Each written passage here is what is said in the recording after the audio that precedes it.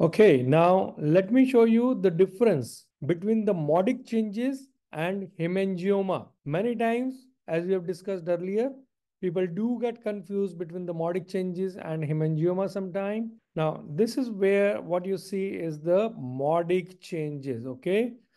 The cartilage end plate getting calcified, okay? And this is what it is. But the hemangioma looks very different than this.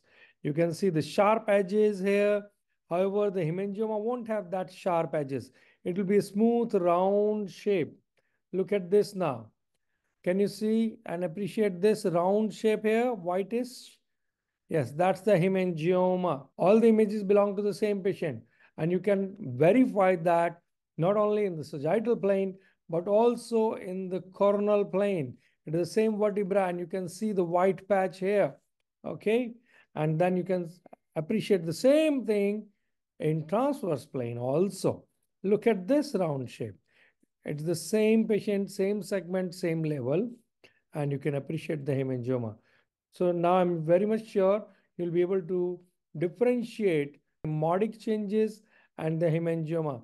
Can you appreciate this round smooth surface, okay? Which is not true in case of this the round shape. See now? And it is not true in case of the modic changes. This is how the modic changes look like. Look at this, sharp edges, okay? Hemangioma is somewhere here or somewhere here or in the middle of the vertebral body.